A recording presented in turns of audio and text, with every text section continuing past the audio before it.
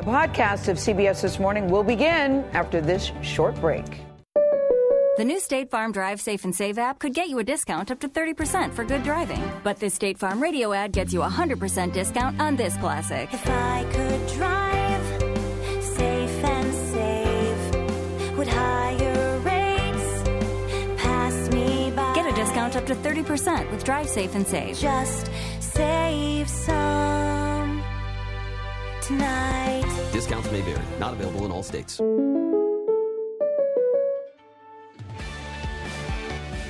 I'm Gayle King, I'm Anthony Mason. And I'm Tony Dokoupil. and this is a CBS This Morning podcast. I'm Jan Crawford, CBS News' chief legal correspondent. Attorney General William Barr became President Donald Trump's second Attorney General in February. It was Barr who supervised the conclusion and release of Special Counsel Robert Mueller's report. I met Barr in Anchorage, Alaska for his first network television interview. Here is our conversation. Mr. Attorney General, thank you uh, very much for sitting down with us. Um, so, obviously, we saw the special counsel yesterday uh, make that statement. He analyzed 11 instances where there were po- possible obstruction uh, and then said that uh, he really couldn't make a decision, conclusion on whether or not the president had, in fact, committed obstruction because of the existing OLC opinion in the legal counsel's office. Um, do you agree with that interpretation that that legal opinion prevented him from making a conclusion? Uh, I'm not sure he said it prevented him. I think what he said was he took that into account, plus a number of other prudential judgments about fairness and other things, and decided that the best course was not for him to reach a decision. Uh, I personally felt he could have reached a decision, but Was there anything that would have stopped him in the regulations or in those that, that opinion itself? He could have, re, in your view, he could have reached a conclusion. Right, he could have reached a conclusion. Uh, the opinion says you cannot indict a, a president while he's in office, but he could have reached a decision as to whether it was criminal activity. But uh, he had his reasons for not doing it, which he explained, and I'm not going to, you know, argue about those reasons. Uh, but when he didn't make a decision, the Deputy Attorney General, Rod Rosenstein, and I felt it was necessary for us, uh, as the heads of, uh, the, of the department, to reach that decision. Uh, that's what the Department of Justice does. That's why we have the compulsory powers like a grand jury to force people to give us evidence so that we can determine whether a crime has been committed. And in order to legitimate the process, we felt we had to reach a decision. Well, I mean, he seemed to suggest yesterday that there was another venue for this, and that was Congress. Well, I, I'm, I'm not sure what he was suggesting, but you know, the Department of Justice doesn't use our powers of investigating crimes as an adjunct to Congress. Congress is a separate branch of government, and they can, you know, uh, they have processes. Uh, we have our processes. Ours are related to the criminal justice process. We're not an extension of Congress's investigative powers. Now, you have testified uh, that when you met with Mueller at the Justice Department, you had that meeting, that you were surprised when he told you then that he was not going to reach a conclusion on obstruction. Yes, uh, Rod and I were both surprised by that. Did you ask him, look, we need you to make a, a conclusion on this. You should make a conclusion. I, would, I wouldn't say I really pressed him on it. I was interested in his thinking on it, and he explained his position, said he was still thinking it through, and, and, uh, uh, but I didn't really press him, uh, nor did Rod. So, but you left that meeting thinking that he wasn't going to have a conclusion. That's right. Do you feel because he didn't do that, I mean, did he fulfill his responsibility as special counsel? If you look at the regulations, it seems to anticipate that you would get a confidential report uh, explaining why he made a decision to either prosecute or decline to prosecute. Uh, he didn't do that, it seems to me. Right, but on the other hand, he, he did provide us uh, a, a, report and what he viewed to be the relevant facts, and uh, that allowed us, as the, uh, as the uh, leaders of the department, to make the decision. What's the fundamental difference? Why, I mean, he said that he couldn't exonerate the president, that he looked at the, there, these 11 instances of possible obstruction. Um, he couldn't exonerate the president. If he could, he would have stated so. You looked at that evidence, and you did. I mean, what's the fundamental difference between your view and his? Well, uh, I think Bob said that he was not going to engage in the analysis. He was, he was not going to make a determination one way or the other. Uh, and he also said that he could not say that the, the president was clearly did not violate the law, which of course is not the standard we use at the department. We have to determine whether there is c- clear violation of the law. And uh, so we applied the standards we would normally apply. Uh, we analyzed the law and the facts, and uh, a group of us uh, spent a lot of time doing that and determined that uh, both as a matter of law, many of the instances would not amount to obstruction. As a matter of law. As a matter of law. In other words, we didn't agree with the legal analysis. Uh, a, lot, a lot of the legal analysis in the report, it did not reflect the views of the department. It was the views of a particular lawyer or lawyers. Uh, and uh, so we applied uh, what we thought was the right law, but then we didn't rely on that. We also looked at all the facts, tried to determine whether the government could establish all the elements, and as to each of those episodes, we felt that the evidence was deficient. Before you became Attorney General, you uh, wrote a memo to the Justice Department looking at the, the, the question of and the legal standards for obstruction, and suggesting that the president has the authority to say back off of the Flynn investigation, could have fired James Comey under his executive authority. How much, I mean, when you're talking about, I mean, can you explain that a little more? When you're talking about your judgment that no obstruction occurred based on the evidence uh, that Mueller produced and your understanding of the law, can you explain a little more why wasn't that obstruction? Well, let's take, uh, let's take the firing of Comey, for example. Uh, I think we would have said, as a matter of law, and I'm not relying on my legal uh, my legal memo that I wrote as a private citizen, but uh, really on the views within the department of the people who think about these things and are responsible for framing the views of the department. And I think we would have said that, as a matter of law, the obstruction statutes do not reach facially valid exercises of core presidential authority or official authority, even decisions by the Attorney General in administering uh, the executive branch or litigation.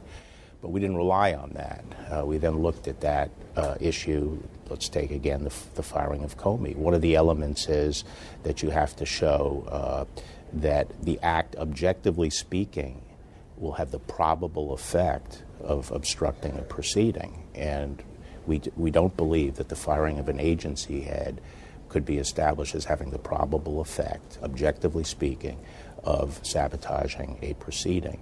There was also, we would have to prove corrupt intent.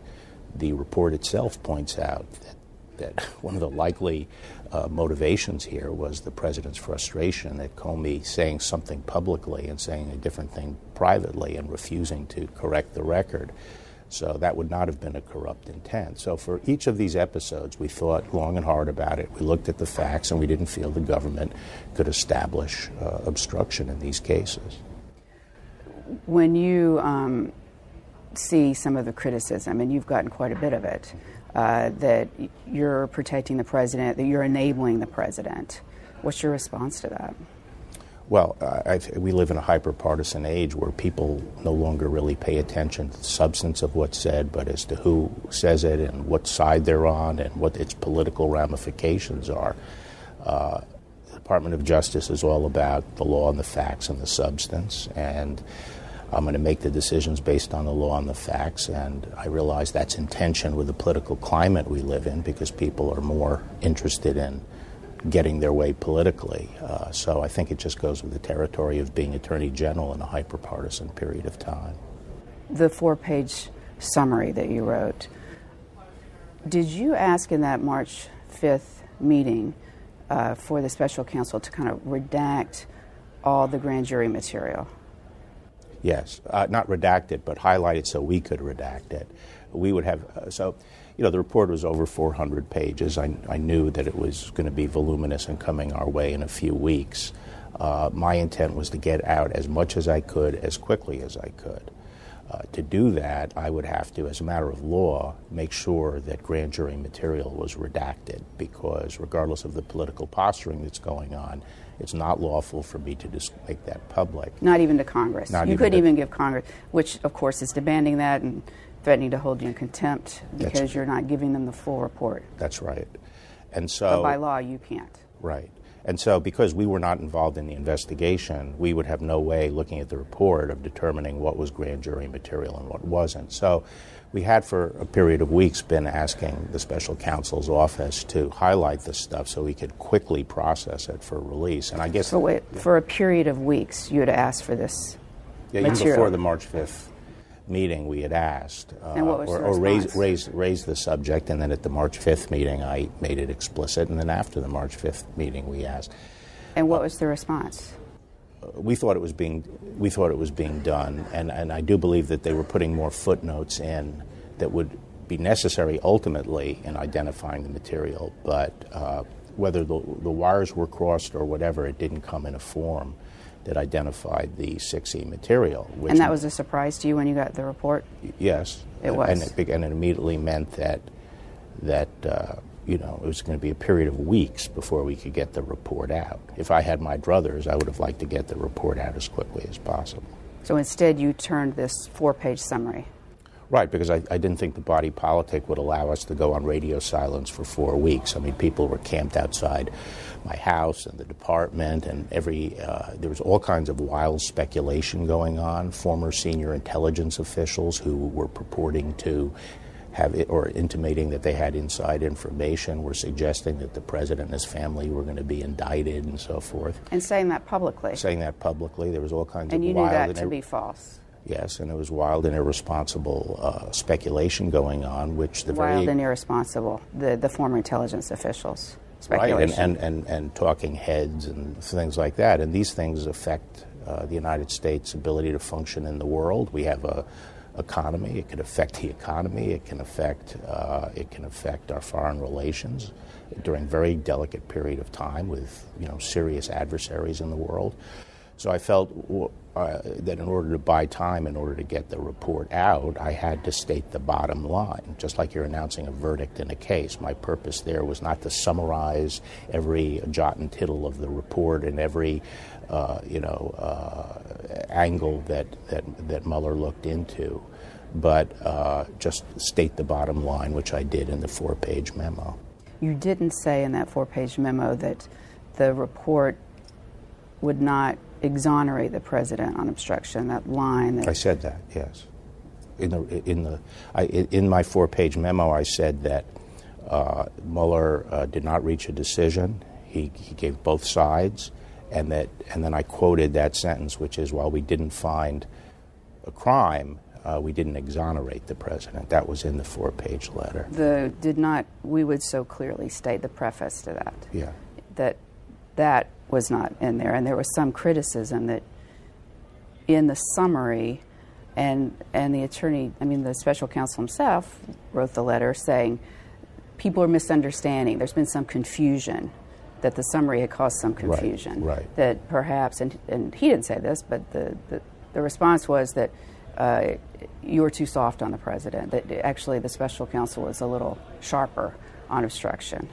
Well, again, I wasn't trying to provide all the flavor and nooks and crannies of the of the report. I was just trying to state the bottom line, and the bottom line was that Bob Mueller identified some episodes. He he did not reach a conclusion. He provided both sides of the issue, and he his conclusion was he wasn't exonerating the president, but he wasn't finding a crime either.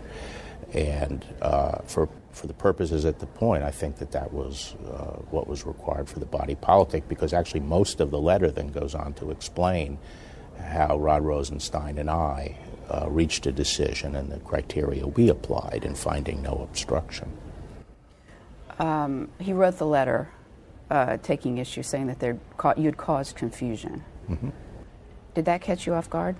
Yeah, sure. I, I was surprised he just didn't pick up the phone and call me, given our 30 year relationship. But Why didn't he?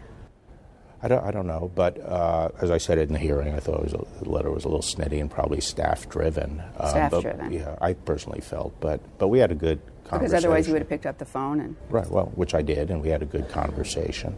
And uh, uh, I think the, I think the matter has now uh, been fully vetted, and and and I think uh, uh, he he was concerned that that there should be more context and texture to his work given, and that in the absence of that, uh, the vacuum had been filled with you know media reports that were then causing confusion, and he wanted it clarified by putting more of an explanation of his reasoning out. And uh, I, I said that uh, I didn't want to put out dribs and drabs. I wanted the whole report out. And I, then I wrote a letter again to Congress saying, look, uh, I, this is not intended to be a full summary. Bob's thinking is reflected in the report. Everyone's going to have access to it. They should look at that to determine, uh, you know, what Bob's reasoning was. So uh, that's where we let it sit until the report was released.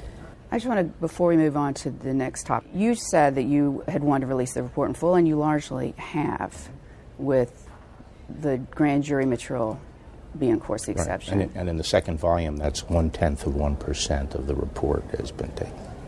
You, I just to be clear on this, how long and how many, you expected the special counsel's office to redact that material. Or, so, or, yeah. to, to point out what right. should be redacted. Right.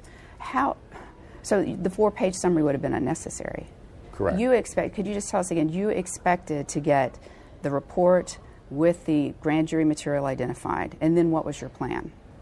My plan was to figure out how long it would take us to redact what had to be redacted. And what did you anticipate that would be? And, and if we could readily, uh, if we could readily identify the 6E material, I thought we could do it in, in a, you know, less than a week.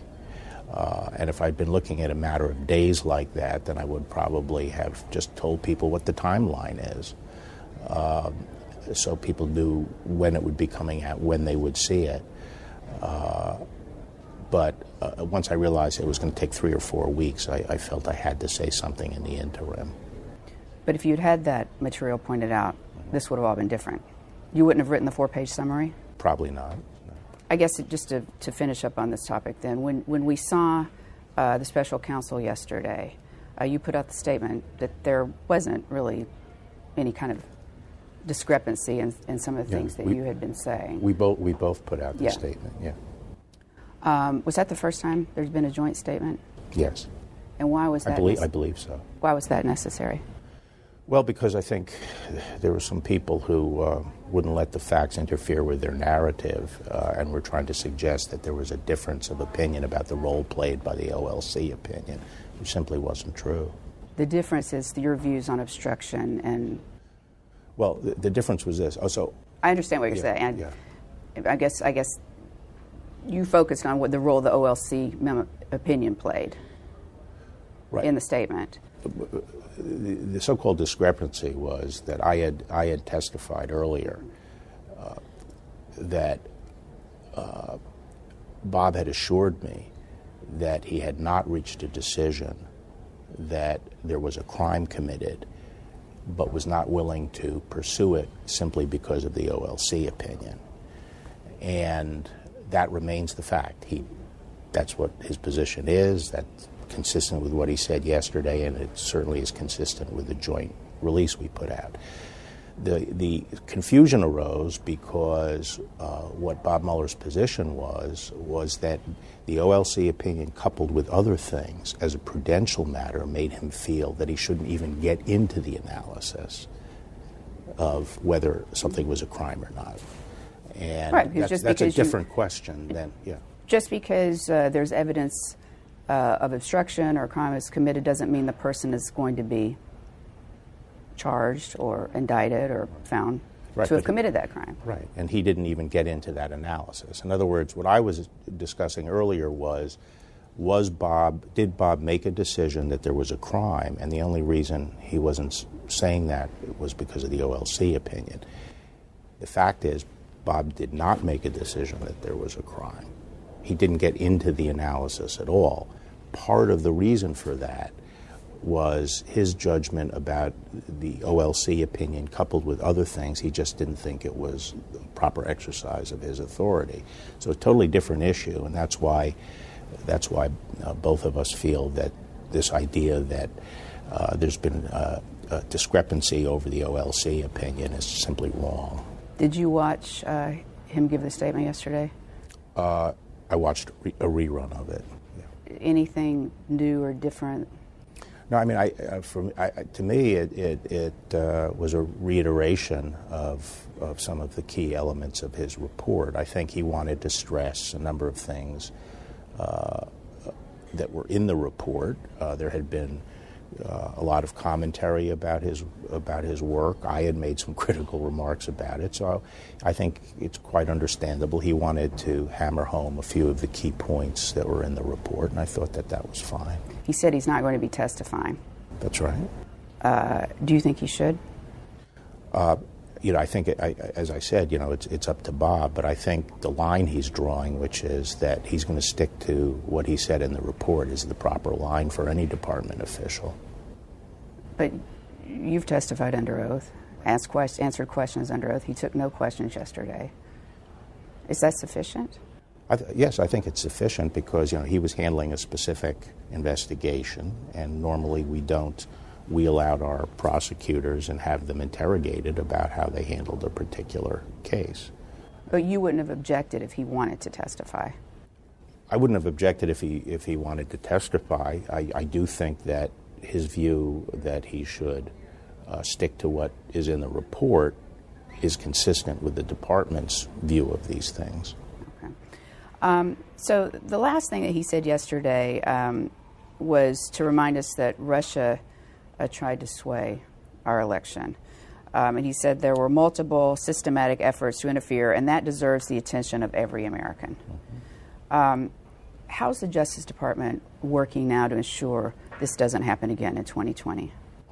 Yes, well, you know, we, we do have a, I think, a, increasingly robust program uh, that is focusing on foreign influence in our election process. The FBI obviously has the lead in that, and I've been briefed on it on a regular basis, uh, and I think it's uh, it's a very impressive effort. But we are ramping up. Uh, I talked recently to the the director of the FBI about uh, putting together a special uh, high level group to to make sure we're totally prepared for the upcoming elections. And the high level group would be who would that include? Well, you know, it would include the FBI, the Department of Justice, DHS, uh, and intelligence agencies.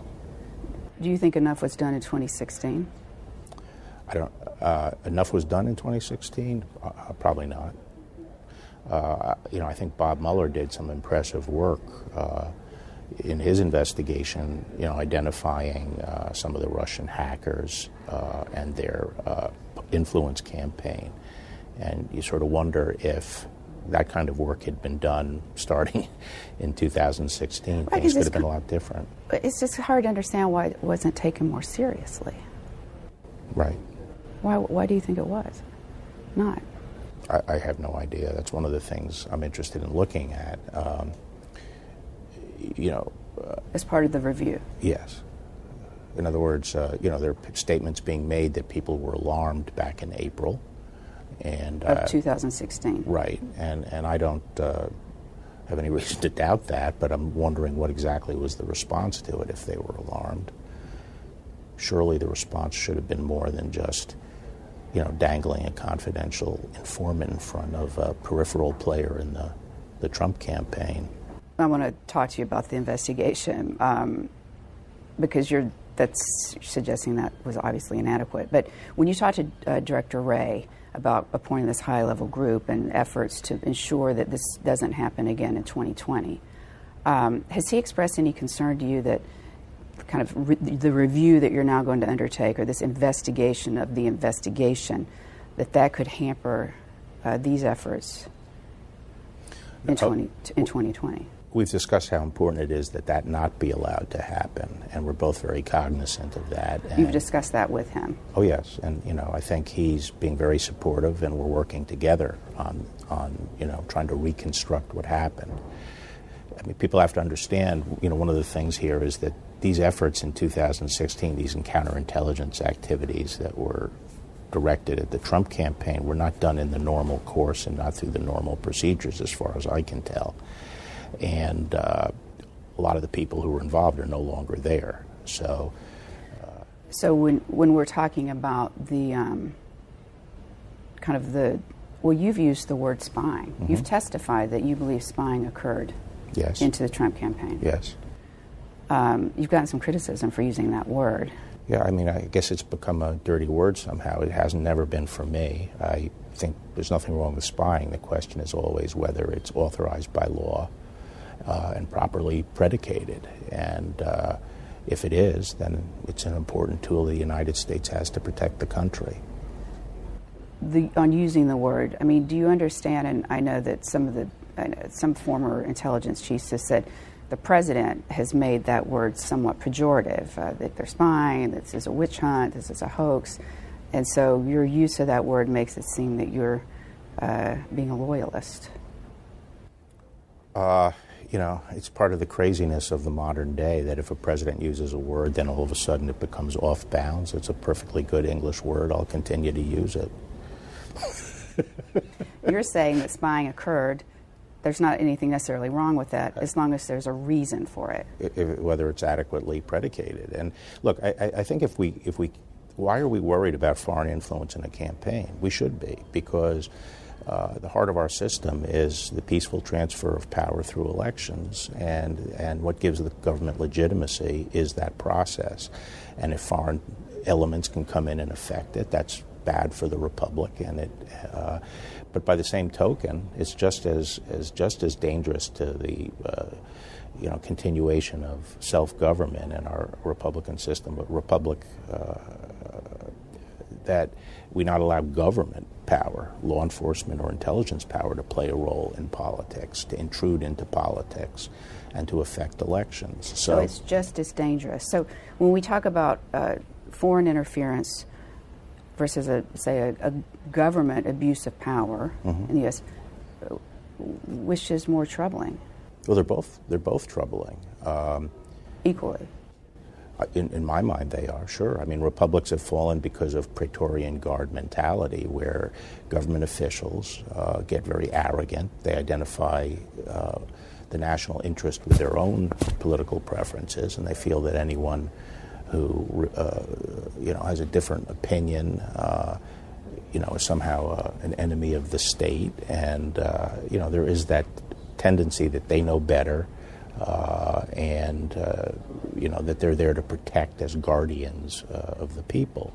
That can easily translate into essentially uh, supervening the will of the majority and getting your own way as a, as a government official.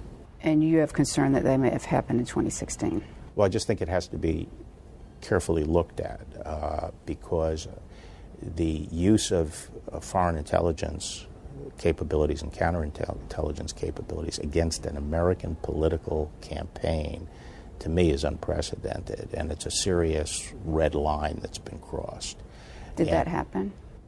There were, there were counterintelligence activities undertaken against the Trump campaign. And uh, that's, I'm not saying that there was not a basis for it that was legitimate. I want to see what that basis was and make sure it was legitimate. I, that's one of the, you know, one of the key functions of the attorney general, core responsibilities of the attorney general, is to make sure that government power is not abused uh, and that the rights of Americans uh, are not transgressed by uh, abuse of government power. That's the responsibility of the attorney general.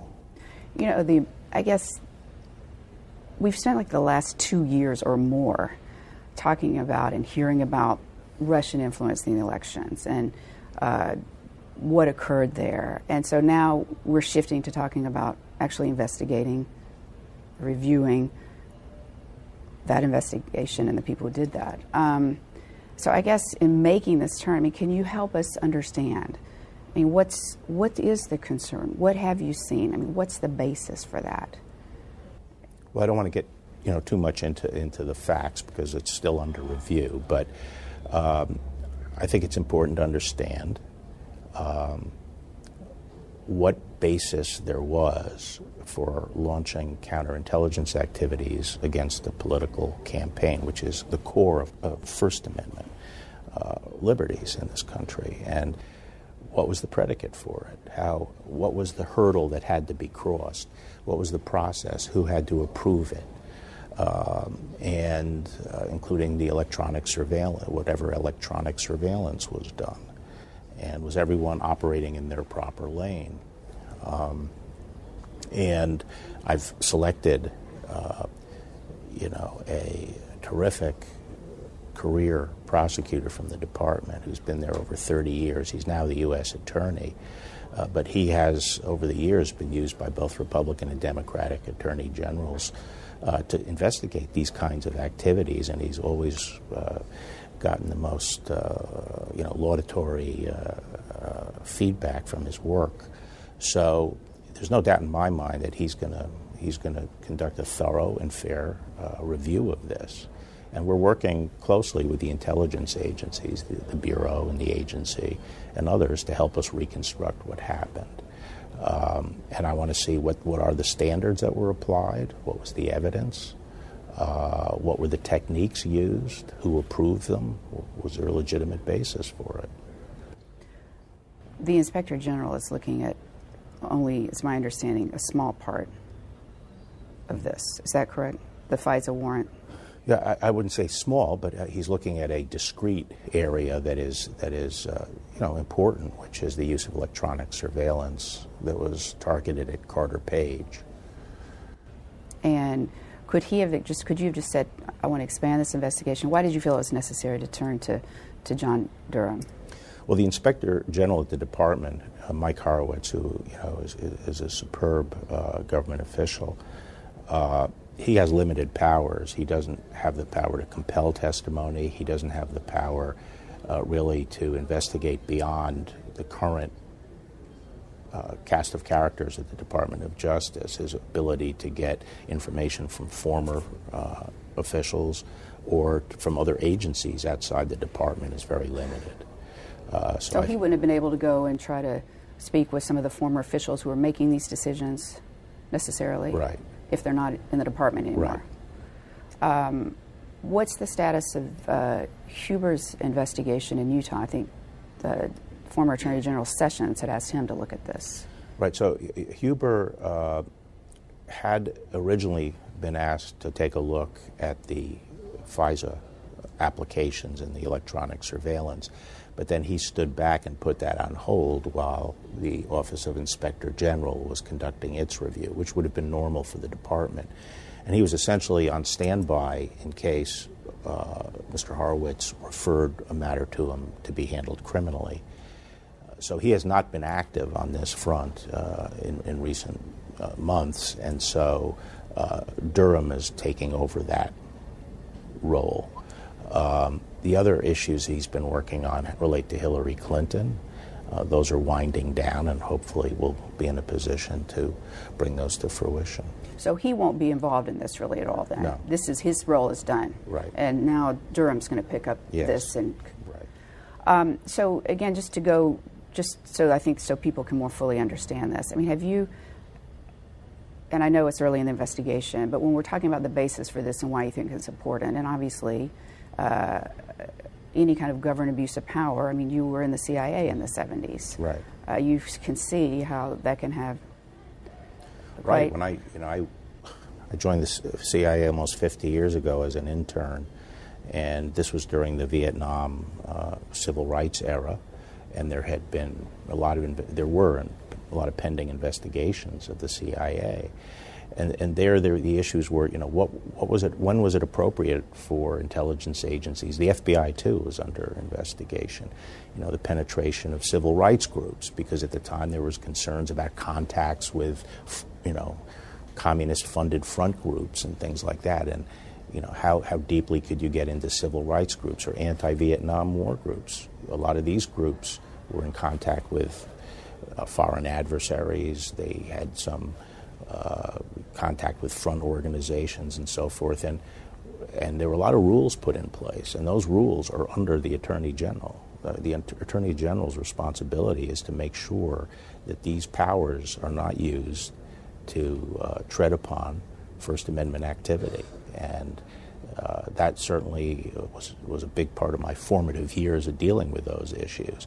The fact that today people just seem to brush aside the idea that it's okay to, uh, you know, to, to engage in these activities against a political campaign is stunning to me, especially when the media doesn't seem to think that it's worth looking into. They're supposed to be the watchdogs of, uh, you know, our civil liberties.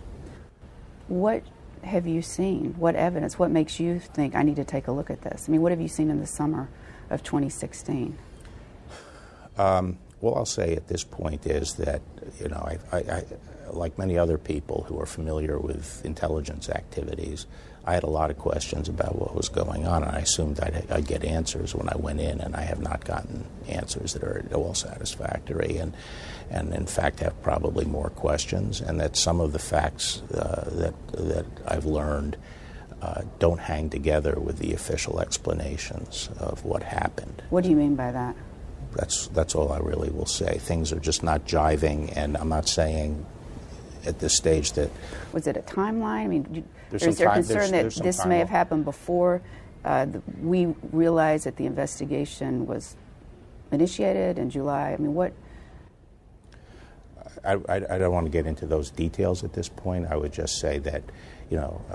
Uh, you said there's a timeline concern. Uh, well, I, I, won't. I won't confirm that, but I'll just say that uh, you know, there, there, are some questions that I think have to be answered, and, and I, have a, I have a basis for feeling that there has to be a review of this. Um, you've, said, you've said the time frame between the election and the inauguration, you've said this publicly, was kind of strange. Mm-hmm. Some strange things may have happened. What concerns you there? Specifically, the meeting at Trump Tower. I, I don't want to. I don't want to get into that. Okay. Um, so kind of going back to what we were talking about with uh, uh, Director Wray, I mean, obviously you've seen this. Like people are raising concerns that this is going to undermine FBI morale. Um, you know, the rank and file. Uh, what are we saying here? But you said in recent uh, Senate testimony, this is not launching an investigation of the FBI. Frankly, to the extent there were any issues at the FBI, I do not view it as a problem that's endemic to the FBI. I think there was probably a failure among a group of leaders there at the upper echelon. That's right. So there was probably a failure among a group of leaders there at the upper, upper echelon. Right. In other words, I, I, I don't uh, believe this is a problem, you know, rife through the through the bureau. Uh, but what suggests to you there was a failure in the upper echelon at the FBI?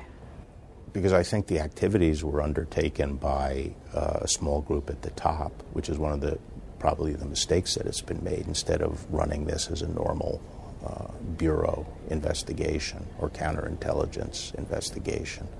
It was done. It was done by the executives at the senior senior level. And you're talking about out of James Comey.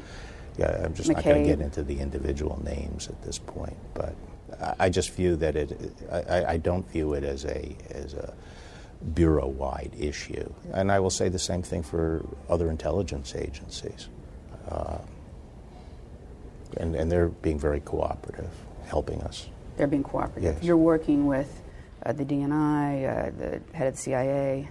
I want to ask you about some of this declassification, but the, the president has tweeted um, and said publicly that some of those in the upper echelon, Comey, McCabe, etc., uh, committed treason.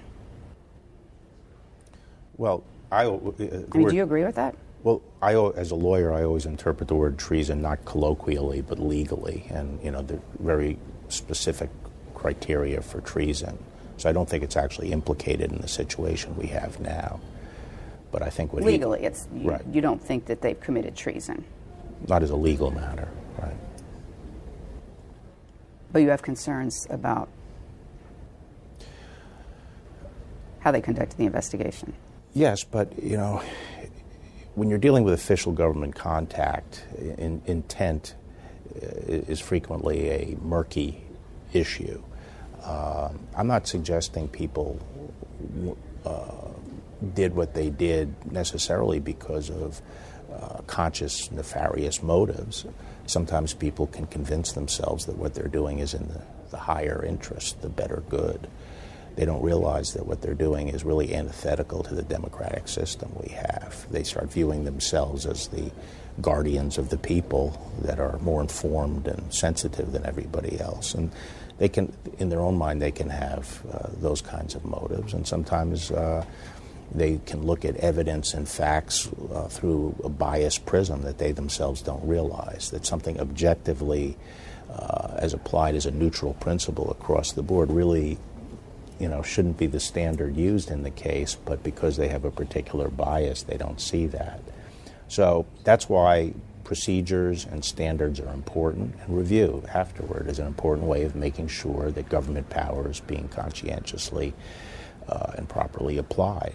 It doesn't necessarily mean that there are people, you know, that, that people who have crossed lines have done so with corrupt intent or anything like that. But it seems like you have a concern that there may have been uh, bias by top officials, say in the FBI, um, as they looked at whether or not to launch and conduct this investigation. Well, it's hard to read some of the texts with uh, and not feel that there was gross bias at work, and they're appalling. And if the shoe were on, uh, they're, they're, those those are appalling, and on their face uh, are very damning.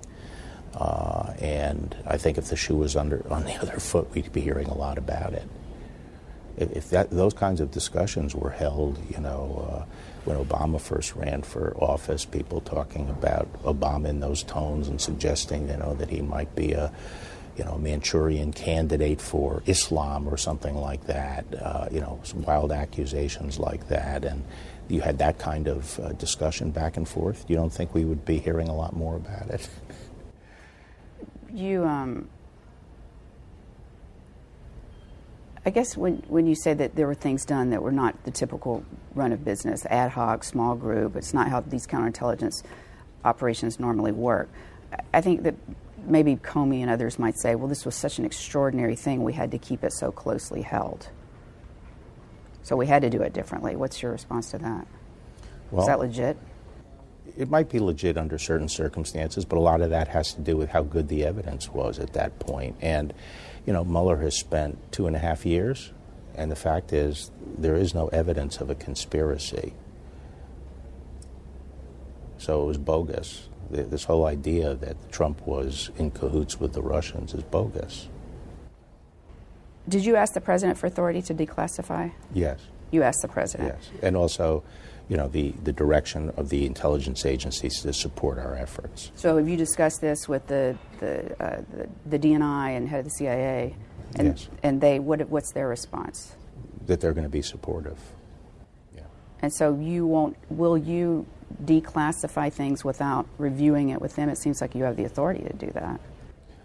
Well, in, in an exceptional circumstance, I have that authority, but obviously uh, I intend to consult with them.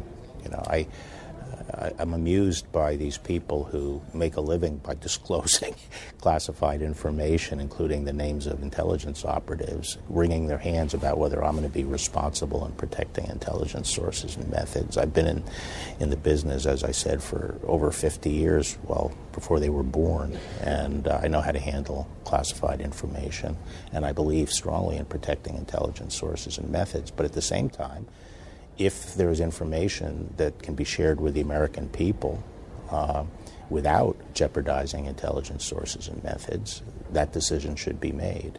And because I will be involved in finding out what the story was, I think I'm in the best position to make that decision. I know you've seen some of the criticism and the pushback on, on this. Are, do you have any concerns that doing this investigation, talking about declassifying certain materials, that that's undermining your credibility, the credibility of the department? No, I, I don't. I think it's actually the reaction is somewhat strange. I mean, normally. Strange. Their sure. reaction. Well, the media reaction is strange. Normally, the media would be interested in letting the sun shine in and finding out what the truth is. And usually, the media doesn't care that much about protecting intelligence sources and methods. But I do, and I will. All right. Um, you're only the second Attorney General in history who served twice. I think the first one was back in 1850.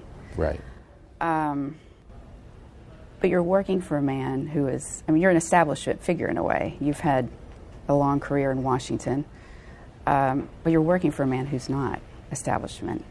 Uh, and some of his tweets about uh, officials and the rule of law. Um, how do you react when you see those? Are you on Twitter? Do you read his tweets? No, I'm not on Twitter. Uh, and every once in a while, a tweet is brought to my attention. But uh, my experience with the president is we have a we have a good working relate professional working relationship where we you know we talk to each other and if he has something to say to me uh, I figure he'll tell me directly I don't look to tweets for you know uh, I don't look at them as directives or as official uh, communications with with the department but when you came into this job you, you were kind of, it's like the U.S. Attorney in Connecticut. I mean, you had a, a good reputation on the right and on the left. Uh, you know, you were a, a man with a good reputation. Uh, you're now someone who is, you know, accused of protecting the president, enabling the president, uh, lying to Congress. Did you expect that coming in? And, and what's your response to it? How do you, how do you, what's your response to that? Well, in a way, I did expect it. You because, did? Yeah, because I realized we live in a, a crazy, hyper-partisan period of time, and I knew that uh, it would only be a matter of time if, you, if I was behaving responsibly and calling them as I see them. Uh, that I'd be attacked because nowadays people don't care about the merits or the substance. They only care about who it helps, you know, who benefits, whether my side benefits or the other side benefits. Everything is gauged by politics. And uh, as I say, that's antithetical to the way the department runs. And any attorney general in this period is going to end up losing a lot of political capital. And I realize that.